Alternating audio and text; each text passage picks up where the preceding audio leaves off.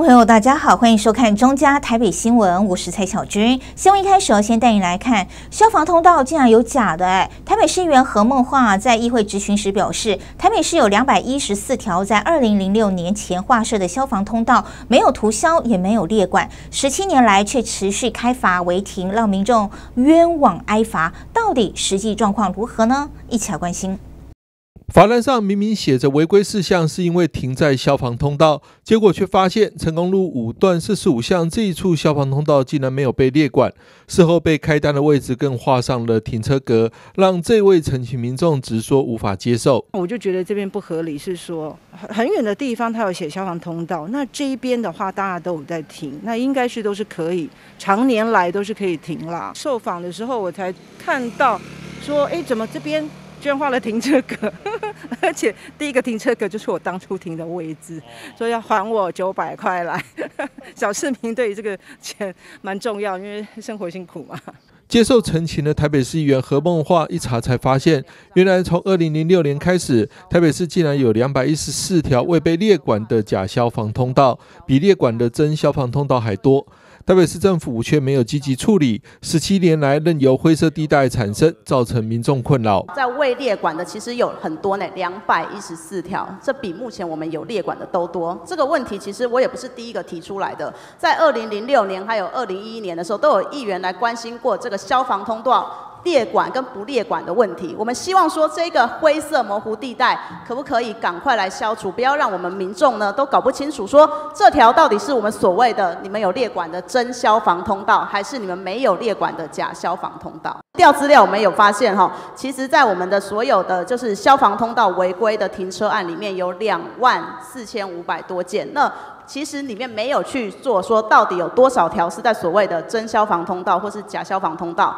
那如果民众没有自己去检举，没有自己去在申诉的话，他可能就这样子就多缴了六百块。我觉得对民众来说是非常的不公平。我们知道消防安全非常的重要，但我觉得市民的权利也是非常的重要。对此，台北市消防局长说明，民国九十五年后，消防通道的划设标准，未列管的消防通道有部分主要是当初地方认为有必要才留在原地。在九五年之后，整个全部交由消防局来整理的时候，就以目前的规定方式哦，它主要就是像哦刚才一座哦所提到的那几个哦，包括抢救困难地区等等，那它必须有净宽的限制、净高的限制等。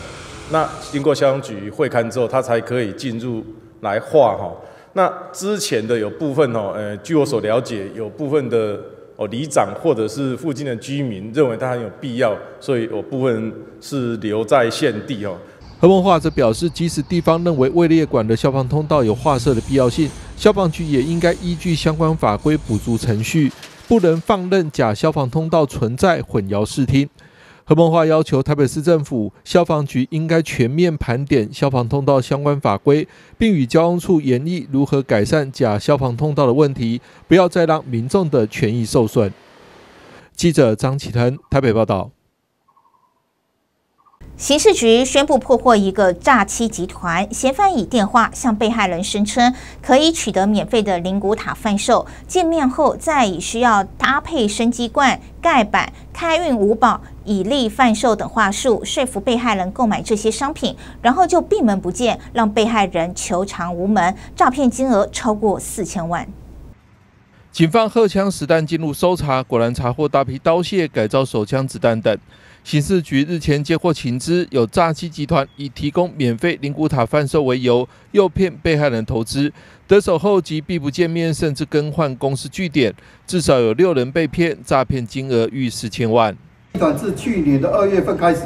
从以各种话术来诱骗被害人大笔投资生机塔位及搭配和相关的一个生机罐、开运如宝等等商品来诈骗被害人。等被害人发觉有异即断绝好避。联系并不见面，令被害人求偿无门。那经警方清查，哦，已有多名的被害人哦遭该集团哦诈骗，损失上千万元以上。那该集团的一个不法犯罪所得也达到了哦四千万元以上。专案小组在追查过程中，更发现有黑道背景的夏姓祖贤对旗下犯错成员手段也很凶残，甚至以暴力殴打及施行拘禁等方式逼迫筹钱偿还。夏姓祖贤呢，具有帮派的一个背景，为控制底下的成员，会以暴力的手段来强压和犯罪的集团成员，好进行施行拘禁、好殴打、控制、凌虐。那手段十分的凶残。警方除了将夏姓嫌犯等十人具体到案并移送地检署侦办，也呼吁民众进行投资时应提高警觉，小心查证，防范诈骗集团以低成本高获利的投资诱骗。如果有疑问，也可以拨打一六五反诈骗专线咨询，不要让自己成为诈骗集团眼中的肥羊。记者张启腾台北报道。为了要加强民众的防灾意识，台北市松山区公所在宁安公园办理一百一十二年度灾害地区紧急疏散避难演习，并邀请里内原住民及印尼籍的新移民朋友共同参与演练，让各单位做好防灾准备，也加强民众的防灾减灾观念。你们好，我是李干事，啊，现在进行所谓的防灾宣导，那可以向你们介绍呃市政府最新的防灾资讯吗？松山区公所一百一十二年度灾害地区紧急疏散避难演习演练，模拟大台北地区三角断层南段破裂，发生瑞士规模六点六的强烈地震，宁安街一带建筑物遭受严重损毁，许多民众被困其中，火灾也因为瓦斯管线破裂而爆发，情况非常危急。透过徐丽云里长带领的守望相助防灾团队，迅速展开救援工作，整合了消防局、警察局、环保局等单。为力量，共同保护社区安全。我想防灾的这个议题，还有演练的部分，都要请大家多多的帮忙。尤其最近这个新一天坑的事件，其实可能居安思危，大家都要去思考一下。之后万一有这样的发生的时候，我们要怎么样去处理？我们这边现在哈有住这个原住民，好，等一下就麻烦你们翻译一下。好，杀啦，杀啦，赶快！我要打人，男朋友，男朋友。演习也邀请里内原住民以及原属国为印尼籍的新移民朋友共同参与演练，同时融入印尼语的对话实际推演，借此推广多种语言紧急疏散防灾避难观念，落实最新的防灾资讯，深入各个族群。松山区公所希望借着演习，让民众了解紧急疏散与避难的重要性，在灾害来临时才能保障自身的生命安全。记者林喜慧台北报道。长期的压力容易造成身心健康，如何调试压力相当重要。台北市中正区健康服务中心就办理了舒压料理的课程，并将课程中营养师及民众创作的料理制成食谱及影片，邀请民众一起来制作料理，并拍照上传。林口长庚纪念医院营养师与长者示范如何用巧克力谷片装饰甜点，不止过程舒压，成品好看好吃，也令人疗愈。为了帮助民众适当调试压力，并活用舒压食材，台北市中正健康服务中心与林口长庚纪念医院营养师合作，办理舒压料理课程，并将课程中十道佳肴制成食谱，三道制成影片，上传至中正区健康服务中心官网 YouTube。频道让民众随时运用，轻松做出舒压好料理。我们其实如果就我们营养师的角度来看呢，呃，可能在压力的一个状况底下，其实我们有些营养素会消失的比较多，那其实我们就需要把它补足。那另外是在其实借由烹饪的这个过程，也许是一个单调的操作过的一个步骤，但是我们发现说，透过这样子的一个烹调技法，的确是可以达到身体活动，是帮助一个呃释放压力的一个过程。好，那我们这道食谱总共里面有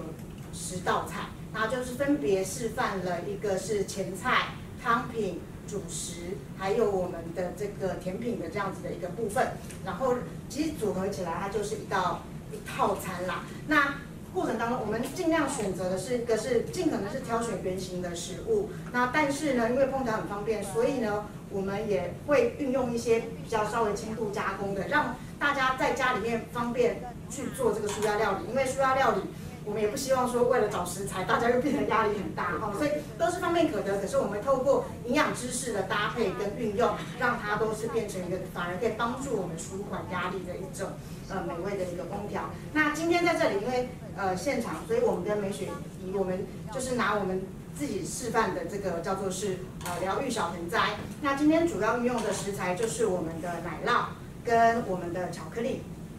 巧克力，那巧克力里面大家知道，巧克力其实它是一个很好的一个舒压的一种食材，但是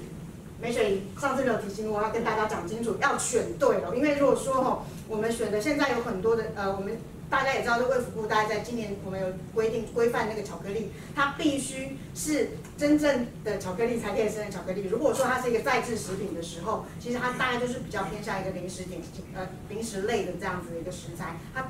含糖量太高，如果它的可可脂含量不够的时候，其实我们不可以说它是一个巧克力的一个商品哦。然后在这样子的一杯里面呢，除了刚刚一直提跟大家提醒到的，有没有巧克力的多酚类，呃，那些抗氧化物质协助我们稳定我们的情绪之外，另外其实不要忘记我们的下面的奶酪是用牛奶做的，鲜奶做的，鲜奶里面含有丰富的一个钙质，它也钙本身也是一个可以稳定我们神经血管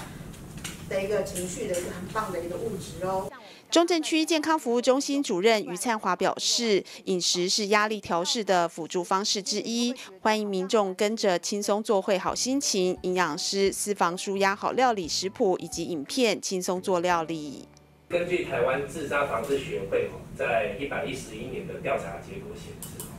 我们大概有三成，三十点八的民众在工作还有经济上呢，会有压力。那其中也有二十九点八。是在日常生活也会感到压力，那剩下的大概有十六点七 percent 呢是在呃心理健康，十二点七呢在身体健康呢会感到压力。那这样的一个压力呢是高于一百零九的一个趋势。好，那我们大概知道就是长期压力哈会容易影响到我们的身心健康，所以呢我们在做这些压力的调试呢是很重要的。或许大家会认为说，哎，这个饮食啊，这个料理为什么会舒压？哦，那我们看到这个饮食是由它这个外观，还有我们这一些的食材，哦，还有这个风煮的过程当中，甚至你在品尝、在味蕾享受的过程当中，其实都是可以达到一些舒压的效果。为鼓励民众自即日起至六月十五号止制作影片内料理，并将成果照上传至中正区健康服务中心赖账号的前一百名民众，即可获得精美礼物一份。记者林希慧台北报道。根据阳光基金会调查，有百分之四十二点九的延损者曾经因为外貌遭遇他人不友善的对待，因此在脸部平权日推出了 IGFB 滤镜，邀请你我一起眨眨眼，翻转不友善的打量，放出温柔的视线。丽妍出生时，鼻子以下到颈部皮肤有着大片红色血管瘤，为此让丽妍在社交、就业上遭遇许多不友善与挫折。但她一步一步学习各种技能，出国打工训练自己胆量，现在决定用自己真正的样子经营短影音频道，并且拥有超过四千位的粉丝。丽妍也特别套上阳光基金会在脸部平权日推出的社群平台滤镜，展现自信美丽。Hello，大家好，我是丽妍。那这次阳光呢，很贴心的呢，在 IG 上面设计了一个小游戏，让大家呢可以去试玩看看。那上面的设计呢，主要是针对于我们病友他可能在生活周遭上可能会遇到上的挫折，比如说窃窃私语、上下打量，或者是刻意的去保持距离，这些呢，其实都是我们病友在日常生活中。常常会遇到的事情。那对于我自己来说的话呢，我觉得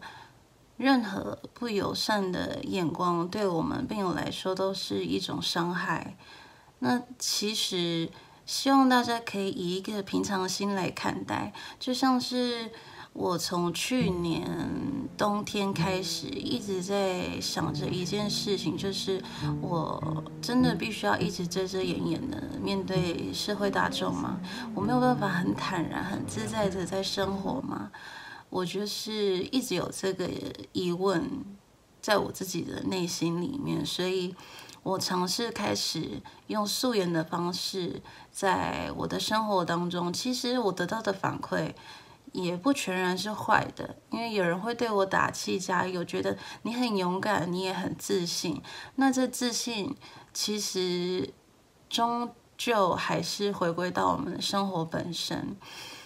嗯，你生活周遭的人善待你，你同样也会善待身边的人。所以那我想呢，不光只是病友们，每个人都期待可以自信且自在的呈现自己不同的美丽。所以在这里，我还是呼吁大家可以支持脸部平权五月十七号，让大家一起来翻转目光，把不友善变成友善哦。根据阳光基金会二零二三延伸者外貌相关经验调查，有百分之四十二点九的延伸者曾经因为外貌遭遇他人不友善的对待，以被别人多看一眼而感到不舒服，占百分之七十三，最大中。对比本会去年对台湾民众的调查结果，会发现二十岁以上的延伸者因外貌受到不友善对待，是一般人的六点五倍。因此，阳光基金会持续推动脸部平权，希望让每个颜面外观不同的人都能够得到基本的尊重和公平的机会。为了能接触更多的网络族群和青年朋友，让更多人来认识脸部平权，阳光今年透过 IG、FB 滤镜的趣味活动，邀请朋友们一起眨眨眼，用平常心和同理心翻转不友善的眼光，有爱每张脸。根据阳光基金会二零二三延损者外貌相关经验调查，有百分之四十二点九的延损者曾经因为外貌遭遇他人不友善的对待，其中又以被别人多看一眼而感到不舒服，占百分之七十三为大宗。商友说，多看一眼是人之常情，这可以理解，而会被看到不舒服，往往是因为对方眼光带着负面，上下打量或者盯着看。每个人都可能因为穿着打扮、高矮胖瘦等外在特征而获得不友善的目光。阳光期待在脸部平权日，邀请民众一起翻转不友善的目光，温柔看待每张脸。记者问俊，台北报道。眼见一定为真吗？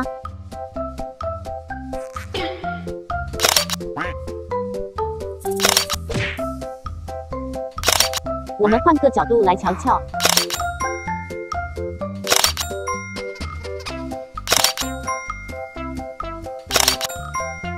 所以记住，眼见不一定为真。科技进步，人人都可以是记者、是编辑，有字有图有标题，越耸动让人印象深刻。作者可能只是太无聊来玩玩而已。另外还有照片合成技术造假就更容易，还有现在很夯的 AI 技术可以移花接木，不是他说的都会变成他说的，那该怎么办？教你简单小贴步：一、看到消息前先想一想这会不会是假的；二、养成查证讯息的习惯，看看新闻来源、作者还有日期，更要透过各种管道来查证。破解假讯息行动四不一要：不要只看标题，不要分享，不要按赞，不要惊慌，要查证，要查证，要查证。中嘉集团关心您。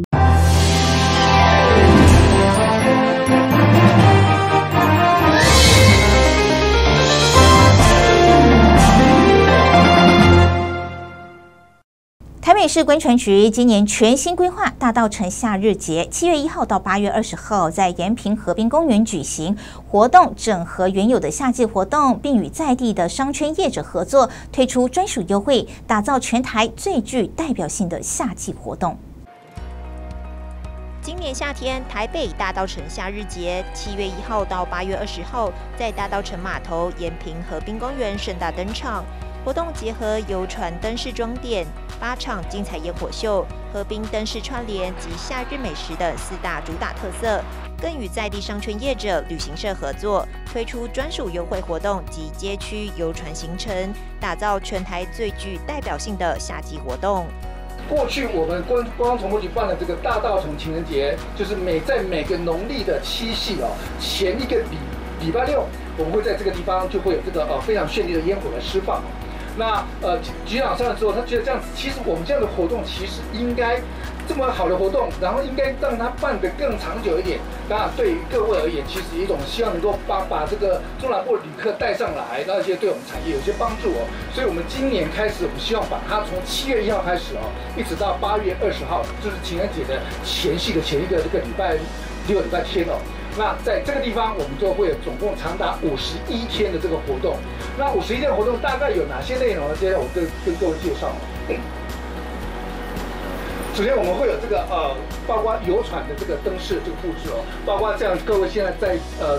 做的这这艘船，我们船身啊，这个会有灯饰的灯光的布置。那我们在这个搭乘这个码头，还有这个延平河滨公园呢，我在三号跟呃五号跟四号码头之间呢，我们水门之间呢，我们会有这个岸上的这个呃光环境的布置，也就是说。到了从七月一号开始呢，大各位到这个我们这个大澳城码头来，你就会看到水上哎，其实船是有有光有光环境的布置，有光点的这个呃布置，然后我们岸上也是有这光的布置，那等着它其实整个氛围就会营造起来。然后下一页。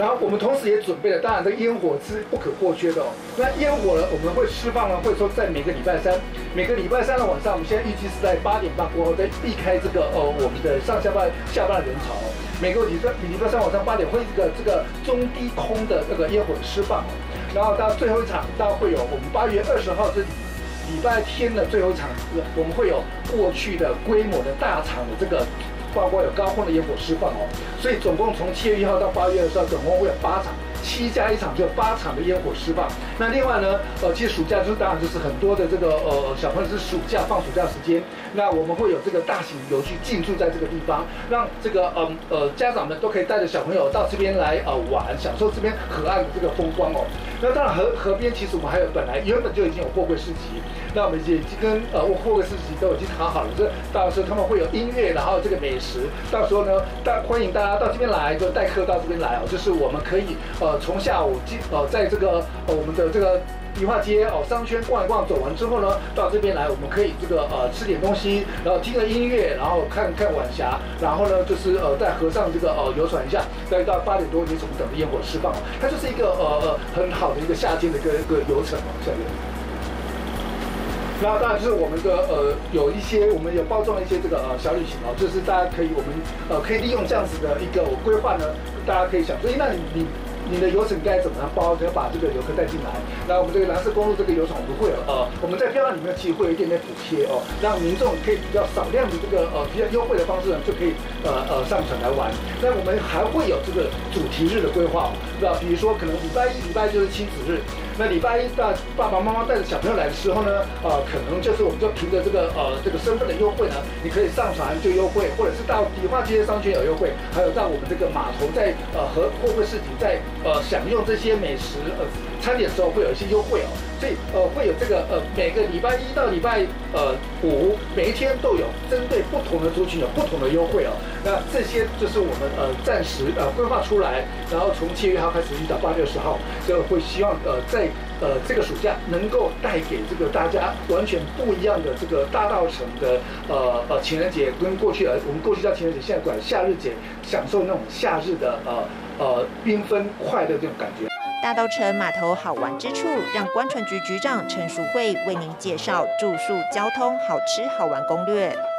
哦，大家可能对于我们的大道城，大家可能是哎觉得熟悉，可是就像我昨天，其实我听到那个我们台湾蝶王哦，就是那个王冠宏所讲的。台北是一个让大家觉得熟悉，可是却又陌生的地方，因为我们常常觉得它非常熟悉，我就觉得我好像很认识这个城市，可是却不知道说，其实在这一个熟悉底下，它有很多新的变化，有很多新的景点，那包括我们现在所在的大道城，其实是一个看欣赏夕阳最棒的地方。那我不知道大家多久没来到大道城来欣赏夕阳？那今天我们带大家来到大道城。后面看到的船，实际上在今年夏天，我们呃就是想要透过这一个画面告诉大家，其实今年夏天在大道城，除了看夕阳，除了在呃路上赏欣赏这一种音乐或美食之外呢，海上你可以在搭在船上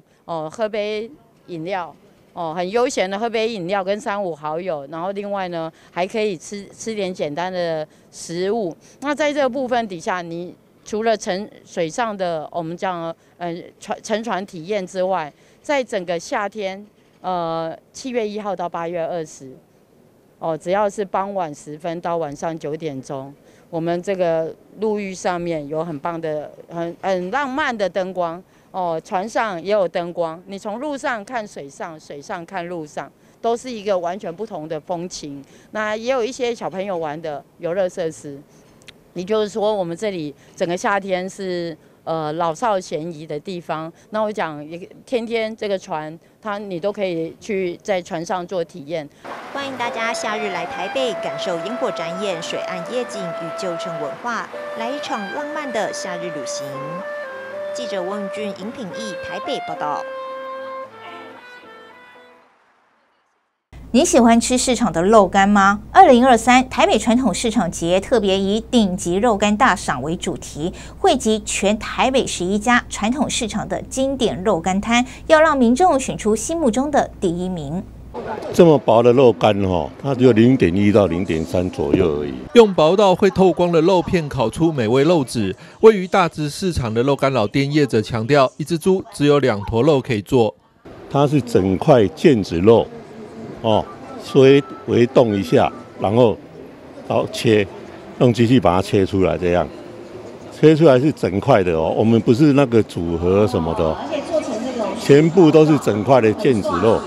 哦，这一只猪只有两坨而已。另一家在兰州市场的知名肉干摊则推出薯条、肉干等创意商品，业者也分享好吃的关键。我做法就是要腌，要进来要先先冷冻，你你。以后才在那个再出来再割起来再腌制，腌制再再进去腌两天两两天两夜，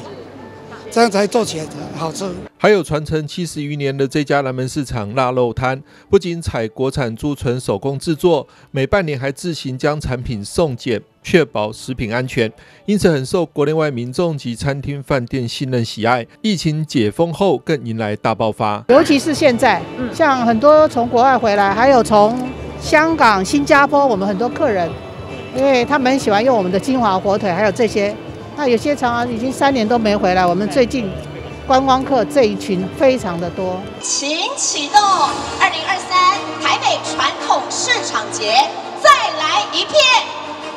香味无限。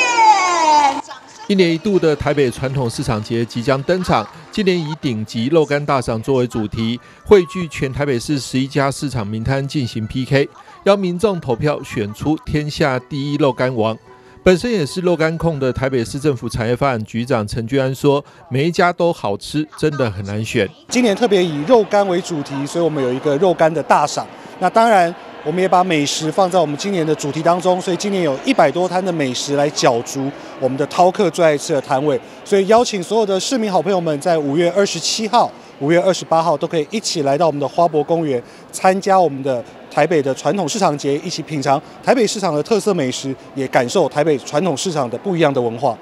另外，还有一百二十家饕客最爱吃熟食及饮料名摊参赛，争夺年度代表、天下第一摊。除了网络投票，还会有一百位在地向导前往各摊进行秘密评鉴。顶级肉干大赏部分也将在活动当天进行公开美食评选。五月二十七号到五月二十八号，在花博长廊登场的台北传统市场节主场活动，还规划有多种亲子活动、闯关游戏、消费几点换好礼及响应环保自备购物袋换购物金。与五十元铜板价、限量购等多项优惠，并透过食物的美味、场域的人情味及体验的趣味，让民众重新认识传统市场，感受到地的台北味。记者张启腾台北报道。为了让长者吃的营养、吃的健康，台北市社区营养推广中心开发创意教案——行动厨房料理 DIY，并设计循环菜单，辅导共餐据点，更首创互动服务，让民众线上自我营养评估，设计互动游戏，透过多元趣味的课程，增进长者对营养的认识。为提供长者健康餐食，台北市社区营养推广中心社区营养师自一百零七年起，至今已辅导四百九十七家共餐据点，辅导据点人员备餐、餐食营养均衡度、食材多元性、质地合适性以及分量等，以维持共餐据点餐食品质。一百一十二年更率全国之先，设计共餐据点餐食营养小叮咛，让据点自主检核，提供长者均衡饮食。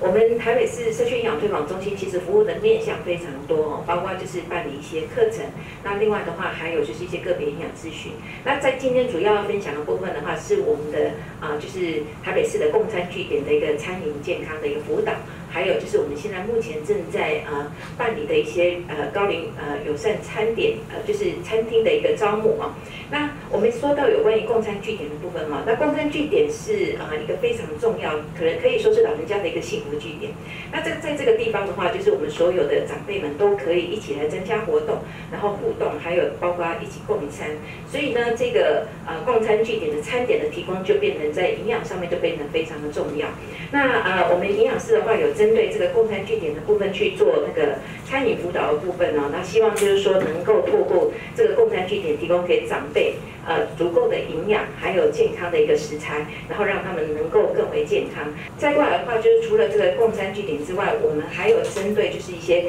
餐饮业者，我们现在今年度有发起所谓的啊这个号召啊，希望他们能够响应所谓的公餐的一个营养友善店家。那这个公餐营养友善店家的话，也就是我们今天在台面上，大家会看到我们有一些食材的部分啊，就是有几个原则哈，就比如说，哎，呃，使用这个全谷的食材，因为这个全谷的食材对健康非常重要，所以大家会看到，就是我们营养师设计了非常多创意的教材，包括就是非常的实用，就是我们在平常会用到的一些呃，就是台湾在在地的一些呃全谷类或杂粮类，那这些如果能够加进食物当中，尤其在共餐据点。或者是餐饮业，如果我们把它加在我们的主食当中的话，其实很简单就可以提升长者的一个营养。那另外的话，就是在食材部分要有多颜色，还有就是一些多种类哈，然后就是减少加工品。那这些呃，希望在这些概念上，如果符合的餐厅都可以来加入我们这个行列，让我们的长辈能够呃，就是随手餐呃健康餐点随手可得啊。那有关于就是我们还有就是推动的一些。呃，主要的一些首创的一个互动服务里面，包括就是我们营养师设计了很多线上的一些互动，呃的游戏，然后还有就是可以让长辈在线上能够自我营养评估。那这样的话，他们才能够呃每每年能够定期的去评估一下自己的营养状态，然后如果有什么风险的时候，可以来找我们社区营养师来提供他们一些呃更深入的一个咨询的一个服务。那还有我们还有推动所谓的行动厨房。好，那这个行动厨房就是我们会把一些啊器具带到据点去，然后教长辈怎么做健康餐。啊，那这样的话，他们就会知道说回去的时候，他们即使自己在家，可以怎么来执行健康餐的一个制作。曾参与辅导的九如社区发展协会蔡宏瑞总干事表示，感谢社区营养师改善餐食营养成分与制作质地，让长者们吃得好、吃得俏。营养师们，他们真的从很多种管道，像包含了从呃我们的健康促进的课程的安排，然后再到我们刚刚提到的行动厨房，然后还有我们的线上疫情期间的这个线上的一些活动，还有个别的营养咨询等等。那透过这些管道呢，那我们的营养师们其实都跟长辈建立了非常密切而且很深厚的关系。那原本长辈其实都不太清楚说到底营养师来社区是要做什么。但是呢，经过这些服务之后呢，他们现在看到营养师都非常的开心，然后结束的时候呢，都会去拉着那个营养师的手，然后去问他们说：“你们什么时候要再来？我们好多问题想要请教。”那我觉得这样的一个转变呢，我觉得对于市民朋友的健康来讲，是一个很棒很棒的改变。那呃，就我们社区民众来讲的话哦，其实我觉得社区营养中心，他们从这个个别营养咨询，然后甚至到了我们整个家庭照顾者的这种陪伴。跟支持哦，其实从他们的回馈里头，我们可以明显的感受到，他们确实从营养师所分享的一些内容里面，学习到如何去照顾自己的健康。对，那我觉得这样的一个学习，我是一个蛮好、蛮蛮棒的成长。台北市社区营养推广中心更首创互动服务，让民众线上自我营养评估，设计互动游戏、多元趣味课程，如行动厨房示范料理 DIY、创新教学长者我的餐盘到超市实地采购。近年来哦，国人的这个平均年龄增加，呃，长者呢常会有一些消化道的功能减弱，或者是主角哦吞咽能力下降等等。那我们台北市营养推广中心呢，在一百零九年到一百一十年，我们也做了长者的营养状况调查。那我们也发现，营养风险不良者占了十一点一 percent，衰弱以及这个衰弱前期的长辈也占了十三点六 percent。所以营养不良其实也会造成了相关的这个肌力退化、呃跌倒以及肌少症风险的增加。那台北市营养调养中心这边呢，我们就致力推广了这个呃创意开发的教案，还有行动厨房，以及设计了这个循环菜单，在辅导共餐据点，一起来为长辈的健康来守护。想知道更多社区活动资讯，欢迎民众洽询台北市社区营养推广中心专线，或至台北市社区营养推广中心网站查询，一起增进健康。记者林希慧台北报道。散播假消息好可怕，让我来带您看一起假消息的社会案件。话说，基隆有一名妇人在聊天群组分享自来接中药行夫妻确诊死亡，还附上消毒照片，在 LINE 群组不断被转传，越闹越大。连中南部亲友也知道，搞得左邻右舍都很紧张，大家避之唯恐不及。后来结果怎么样？雷中药行夫妻根本没死啊，也没确诊啊。当地里长找到这名散播消息的妇人，他解释并不是有意的，只是转传，没想。到事态会这么严重，他亲自前往下跪登门道歉。中药行老板最后决定原谅他，不追究，这是真实案例。要告诉您，疫情期间假消息可能就在您身边，一定要聪明辨别。记得一，眼见不一定为真；二，分享前再想一下；三，养成讯息查证的习惯。记得一，眼见不一定为真；二，分享前再想一下；三，养成讯息查证的习惯，因为很重要，所以讲两遍。要记得，欧中家集团关心您。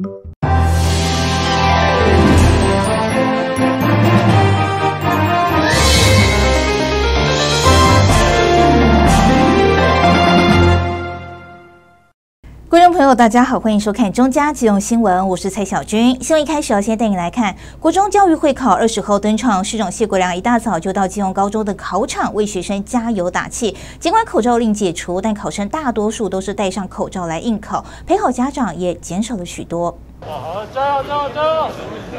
学生依序进入考场，一旁老师替学生加油打气。国中会考二十号登场，基隆考区考生有两千七百零一人。基隆考区呢，我们设置了基隆高中、基隆女中跟海大附中三个考场。好，今年总共服务了两千七百零一位考生。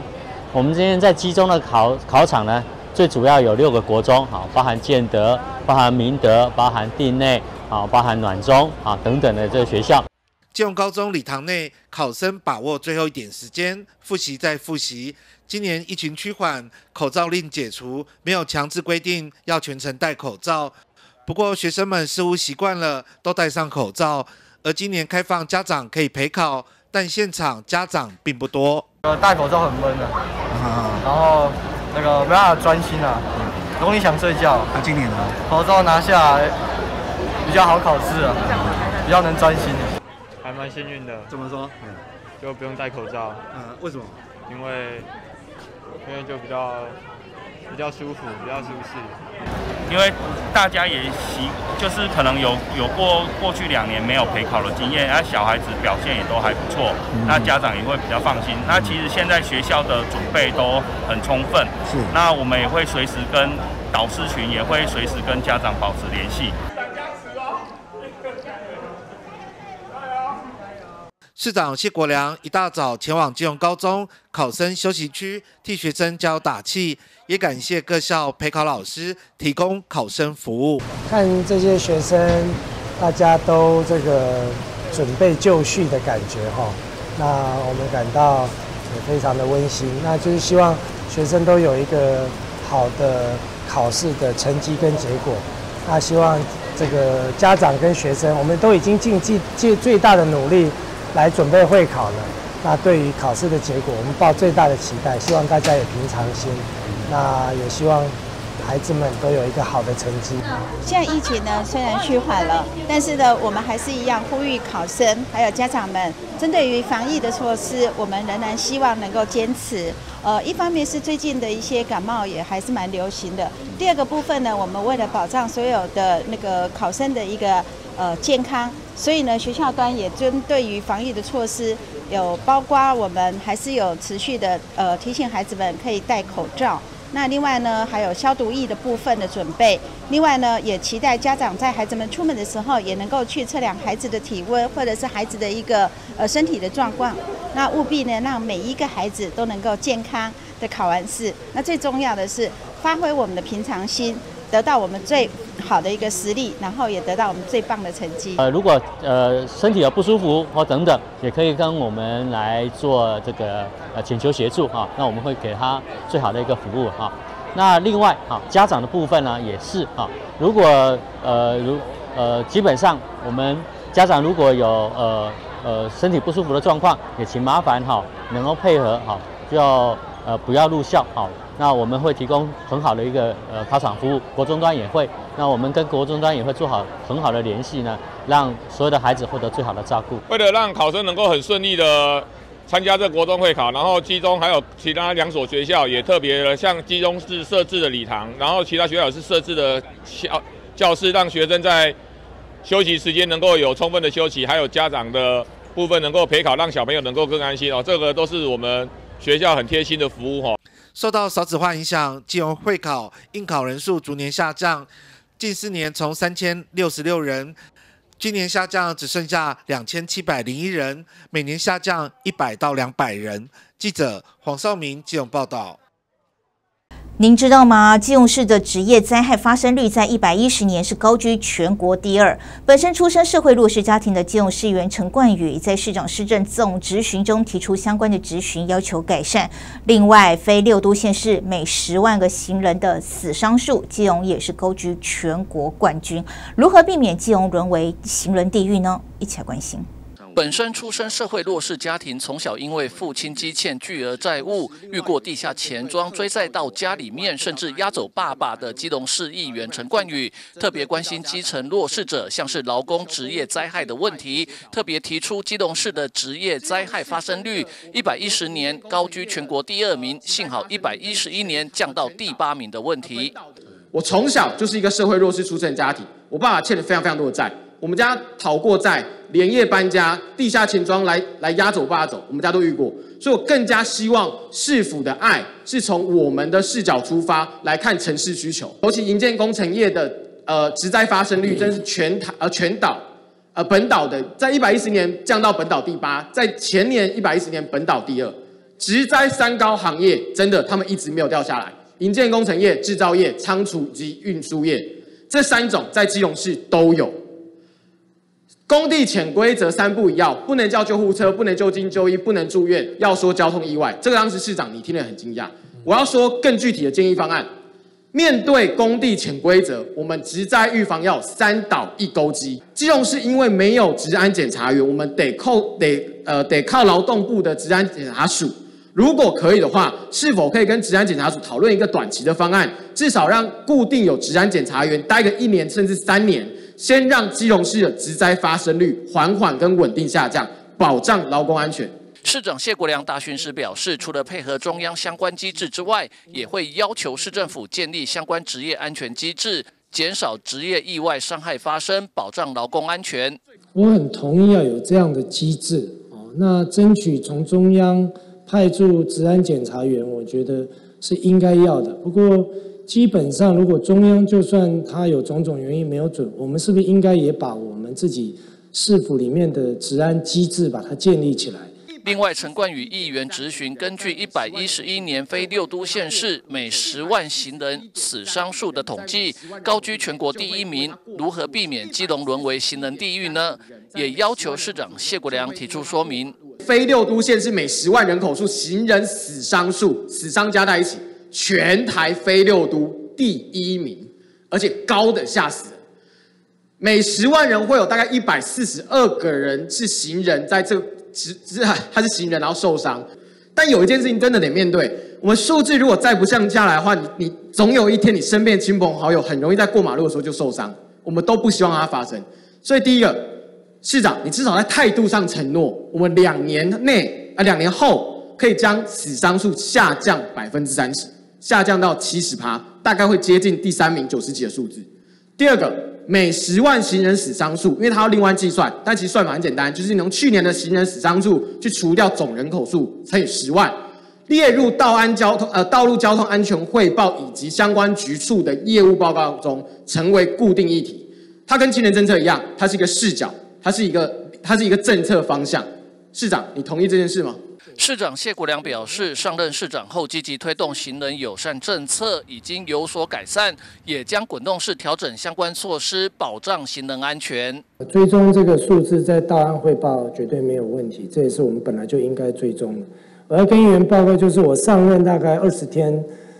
内，我就开始推动了行人友善。这很肯定。据我了解，这个行人友善的这个政策，已经跟去年同期比，有让我们在。这个行人的死伤数降低百分之二十到百分之二十八，所以我觉得这跟你讲的那个数字，我觉得蛮接近。我们是不是滚动式检讨？好，记者吴俊松机动报道。房价居高不下，年轻人买不起房，该怎么办呢？金融市场谢国良提出自己的看法，表示应该要尽量不要盖豪宅，多规划小平数的房子，特别是未来金融捷运开发过程中，周边可能有许多共购的地，应该都这样规划，协助让年轻人买得起房，也方便通勤工作。基隆市议员陈冠宇引用近来内政部长，也是前基隆市长林佑昌针对年轻人买得起买不起房子引发争议的新闻，咨询市长谢国良，针对房价居高不下，年轻人买不起房该怎么办呢？基隆市长谢国良答询时提出自己的看法，表示应该要尽量不要盖豪宅，多规划小平数的房子，特别是未来基隆捷运开发过程中，周边可能有许多共购的地，都应该这样规划，可能有抑制房价飙涨的效果，协助让年轻人买得起房，也方便通勤工作。至于您讲的这个房价，长期来看，我们的确要想办法控制。那要怎么样控制呢？就是尽量不要去盖豪宅。那怎么样不要去盖豪宅呢？我有一个理论，你听听看。就是说，这个要跟都发处一起讨论，因为这个目前没有现有规范。就是说，我们有一些地，政府要释出的时候，它应该是要划小平数的，它不要去做那种大平数的。为什么？因为小平数的都是我们小资，都是我们很多薪水阶级、工作族大家买的。可是，如果你把你没有设计这个建商，他们在规划他们的整个建筑量体跟设内容的时候，他就是往大平数的规划，那很可能就会有更多的这些标涨空间。那当然，如果是他们的地，我们就必须要比较尊重他们的规划。可是未来整个在捷运的开发过程中，我认为会有很多共购的地，或者是政府可以依法取得的。我认为应该要去考虑。让更多的薪水阶级、更多的年轻人有机会来买房。那要来买房，要买什么样的房？就是这种比较小平数，但是在捷运周边的。我觉得这样子相对之下，可能对房价的益助，市长，我希望会有一些帮助。我市长，所谓小平数是指几平呢？市长谢国良私下表示，大约三十平以下。记者吴俊松机动报道。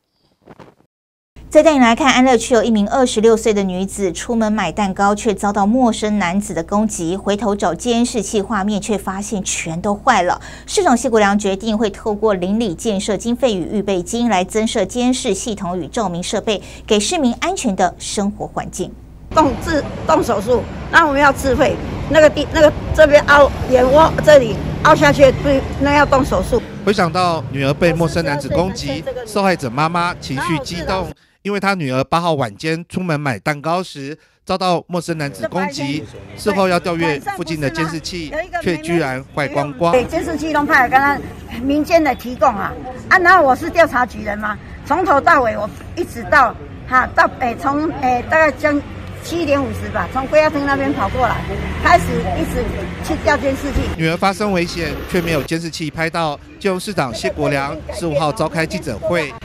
决定透过邻里建设经费和预备金进行监视器系统及夜间感应照明补助计划，初步拟定一千多万补助预算，补助邻里长申请设置监视镜头和夜间感应照明设备，要避免类似事件再发生。安乐区我们安一路一百巷附近发生这样让人不幸的事情，佩祥认为在这一点上面，佩祥会建请我们市政府在于民政。跟警政这边协力合作，来帮我们社会安全网做一定的补足。佩祥跟国良市长谈过，国良市长也相当相当肯定，认为说这边方面的确是要再加强。目前加强的方案，除了直接在危险的地方再加建监视器之外，并且调整监视器的角度，务必让它尽尽尽量减少所谓治安死角的发生。第二件事，也就是说，请民政系统各里林办公处。都提供说，在李林这边哪里有人潮常在晚上有人潮常常经过的地方，然后并且提出说这边的照明设备是否足够，如果不够的话，尽快佩祥会跟市府一起想办法来尽快跟公务处来去做加强这个照明设备上光线的不足，然后让我们的好朋友不要再有这个在外晚上走路的时候被人家袭击的恐惧。亡羊补牢，为时未晚。同时之间，佩祥也对我们受害者的家属感到说，这感到十分的不舍。未来的话，哈，无论说交给这个民间公司来打理、来管理，哈，或者是呢，我们李林长和大家建议的点，哦，最重要的就是我们监视器的稳定性，然后还有呢，它的这个妥适率，这最重要，哦。这个也是市域呢在议会，哈，一直在提的这一块，哈。那希望未来呢，我们谢市府呢，能够呢加强，而且呢，针对我们治安哦，要好好的呢来把关。呃，基隆市警察局目前一共有四千四百三十四支摄影机，那百分之九十六点五都是类比式的一个摄影机。那我们在去年一百一十八一年八月二号，获市政府三亿两千余万，全部。分五年建制来完成数位化的一个摄影机。如果监视器越多，民众一定会，我们应该会更安心啊。那当然，巷道街街那种比较暗角的地方，能够越多越好。女子遭到攻击事件引起了金融人重视，议员们要求提高监视器的妥善率，不要让类似事件再发生。记者黄少明金融报道。基隆市信义区有一名六十多岁的老翁被邻居指控多项恶行，警方将他移送法办，但他都是赔钱了事，根本没有起到警示的作用。现在居民联合起来向市议员韩世玉陈情，希望市府能够帮帮他们。后来来的这个人，我们天天都害怕，有时候我哪个去 seven 买米啊，伊就米一条啊呀，我们拢会注意呢。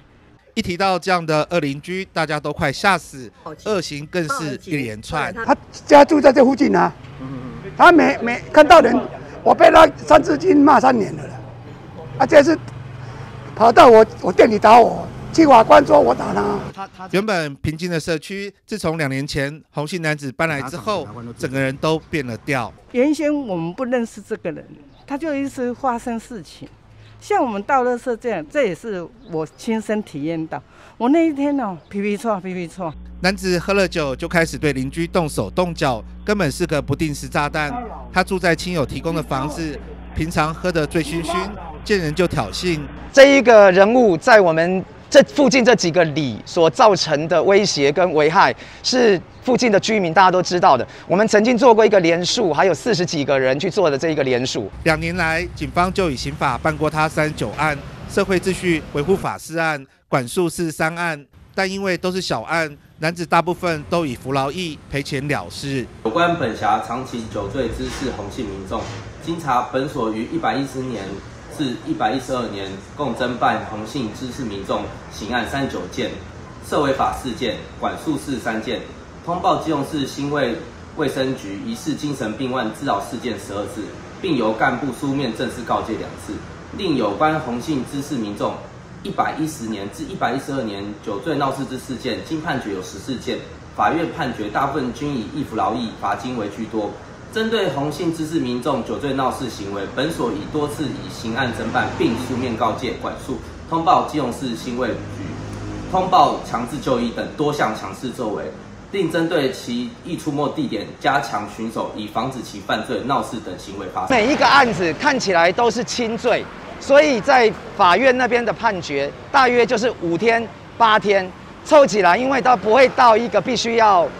服刑的那个六个月的一个最基本的一个一个时限，所以他到现在他都用一种折抵服劳役来折抵役期的方式，基基本上根本没有什么贺主效果。怎么说？他请，因为第一个警察对他的一个态度，就好像说这个这个是好朋友一样，对他就是用一种很和善的方式劝他回家，然后劝不动呢，就是把他带上车，带到警局去里面，他像是家常便饭，就进到自己家里一样。在里面还蛮自在的。希望哦，政府哦能像这种情形的话，不定时炸炸弹住在我们这边，真的大家都人心惶惶。他希望政府能想个办法，给我们老百姓哦一个比较安静的啊，能解决的，啊，不要在在这边两三天就来一次那个对大家那个攻击。随着呢，受害人是越来越多，越来越多。那这样的话该怎么样去解决呢？那我们也有问派出所，派出所都有依法去移送。那移送到后面呢，自然而然他就去做强制劳动。那也没有任何的呃呃管制的行为或之类的，那变成说呢，会不会针对于他的部分的话，他会不会更肆无忌惮，认为说大家都拿他没皮条？男子经常进出派出所，但似乎没在怕。但居民请取激愤，希望市政府和警察局能够硬起来。他们也组成了自救会，要确保自己和家人不要再受到伤害。记者黄少明基隆报道。以上就是今天的中嘉新闻，也欢迎您到中嘉新闻的脸书及 YouTube 按赞，就能及时获得最新的在地新闻。非常感谢您的收看，我是蔡小军，祝您一切平安，我们再会。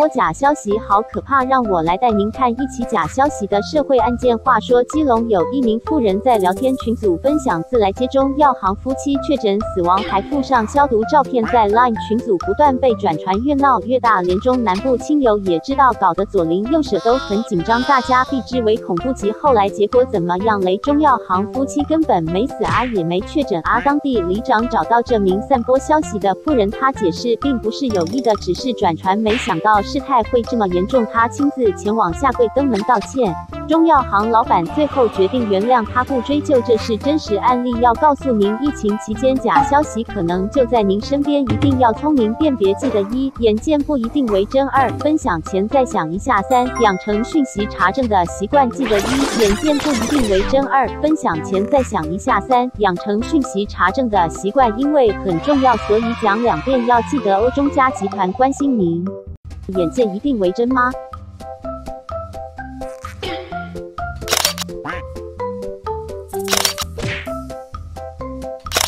我们换个角度来瞧瞧。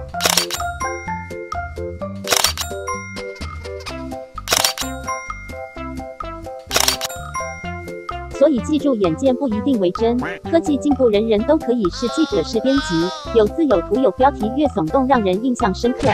作者可能只是太无聊来玩玩而已。另外还有照片合成技术造假就更容易。还有现在很夯的 AI 技术，可以移花接木，不是他说的都会变成他说的。那该怎么办？教你简单小贴布：一、看到消息前先想一想，这会不会是假的？二、养成查证讯息的习惯，看看新闻来源、作者还有日期，更要透过各种管道来查证。破解假讯息行动四步一要：不要只看标题，不要分享，不要按赞，不要惊慌，要查证，要查证，要查证。中嘉集团关心您。